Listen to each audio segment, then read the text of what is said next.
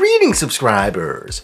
Adventures in Babysitting is a fun teen comedy from 1987 about a teenage girl who sees her Friday night somehow turn from babysitting in the suburbs of Chicago to actually going to the big city of Chicago where she ends up being chased by criminals the entire night. I've read online there was a 2016 remake of this movie, but I never saw the reboot. And many people say the 2011 movie The Sitter with Jonah Hill is more or less a reboot of Adventures in Babysitting, although I don't think that's technically official. Anyway, today I'd like to tell you 7 pieces of trivia about Adventures in Babysitting that you might not already know. So let me get started.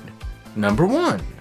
The main character of Chris Parker is played by actress Elisabeth Shue, who had previously played the role of Allie Mills in the classic 1984 movie The Karate Kid, and went on to play the role of Marty's girlfriend Jennifer Parker in Back to the Future Parts 2 and 3. So, in both Adventures in Babysitting and the Back to the Future movies, she played a character with the last name Parker. And in 1995, she starred in a movie called Leaving Las Vegas, in which she played a prostitute. She received an Oscar nomination for her performance in this film. Number 2. The character of Sarah is played by an actress named Maia Brewton, who had a small role in the first Back to the Future movie as Sally Baines, the younger sister of Lorraine. Now, you might be saying, hey, wasn't Elisabeth Shue also in Back to the Future? And the answer is, technically, no. In the first Back to the Future movie, the role of Jennifer Parker was played by an actress named Claudia Wells. However, Wells did not return for the role in the sequels. Elisabeth Shue took over the role for the sequels. So the simple point is, Maia Brewton and Elisabeth Shue were not in any of the same Back to the Future movies. You might also want to take note that Brewton made Back to the Future in 1985 before she made Adventures in Babysitting, and Shue did Back to the Future 2 in 1989 and Part 3 in 1990 after she did Adventures in Babysitting. So the point is, at the time these two actresses were making the movie Adventures in Babysitting, they did not yet realize they were both being involved with the Back to the Future franchise. I also want to quickly mention that if you look at Brewton's scene in Back to the Future, one of her brothers, Milton Baines, is played by actor Jason Hervey, who is probably best known for playing the role of Wayne Arnold on the classic TV series The Wonder Years. Number 3. The character of Brad Anderson is played by actor Keith Coogan. You can note that a few years later he played a major role in the 1991 movie Don't Tell Mom the Babysitter's Dead, another teen comedy about babysitting. But I personally found it more interesting to learn that he is the grandson of actor Jackie Coogan, who played the role of Uncle Fester on the classic TV show The Addams Family, and had much earlier played the title role in the movie The Kid, a silent comedy in which he co starred alongside Charlie Chaplin. Number 4. The role of Daryl Coopersmith is played by actor Anthony Rapp, who, if you look on his IMDb page, you'll see he's been in tons of other movies. But I'll just note that he had a part in the movie Dazed and Confused, a very popular movie made in 1993, but set in the 1970s. Number 5. One of the producers of Adventures in Babysitting is Debra Hill, who also produced many other movies I like a lot. But here I want to mention that she produced the classic 1978 movie Halloween. You're probably thinking that Halloween and Adventures in Babysitting are two completely different kinds of movies. And you're right. One is horror, the other is comedy. However, both these movies are about a teenage girl expecting to have an average night babysitting in the suburbs and watching the night turn horribly wrong. Also, if you look very carefully in the background of one scene, you'll see the movie Halloween playing on TV. Number 6.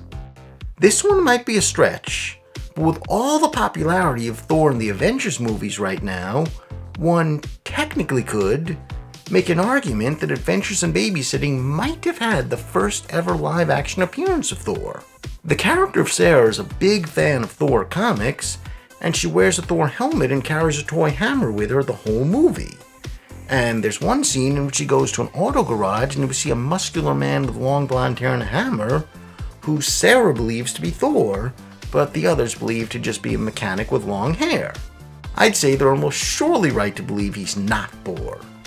But I guess maybe there's some slim possibility he is. And since most fans will tell you Thor's first ever live action appearance was in the made for TV movie The Incredible Hulk Returns, which first aired in 1988, the year after Adventures in Babysitting was released, that would mean that if you want to believe this somehow is the real Thor, then you would have to say it's Thor's first ever live action appearance. I can also mention that this actor playing Thor is Vincent D'Onofrio, who went on to play Daredevil's archenemy Kingpin in the popular Daredevil show on Netflix. And finally, number 7. Many of the Chicago scenes were indeed filmed in the city of Chicago. Great city, I've been there. However, the suburban scenes were actually filmed in the suburbs outside the city of Toronto, in Canada. This is the house briefly seen at the beginning as Chris Parker's house. It's located in the town of North York, which is about a 20 minute drive from the heart of Toronto. The house obviously had quite a few renovations since the movie was filmed. The biggest difference is this addition over the garage. But also notice when the movie was made, the house had an all white facade. Now, the majority of the house is covered by brick, except for the new addition over the garage. These columns outside the door were not there when the movie was made, and neither were these attic windows. When I was there, there was a for sale sign outside the house. As I stepped back to get some good angles for the shot, I stepped on the front lawn of this house directly across the street, and as you can see, it's a very wealthy looking house. It appears to have been made fairly recently, I'm guessing it was made after the movie was shot. And if you look at some other shots of the street, it looks a little more like average suburbs. I'm guessing these houses were there when the movie was filmed. Then we see the character of Chris take a short drive to the Anderson residence where Brad and Sarah live. That location has a GPS address that's technically inside the city of Toronto, although about a 20 minute drive from the heart of Toronto and only about an 8 minute drive from the location used for Chris Parker's house in North York. Here's that house in October of 2019, still very recognizable as the house from the movie. But when I looked at the house directly next door on the right, it was another surprisingly wealthy looking house. This whole street had quite a few really upscale looking houses.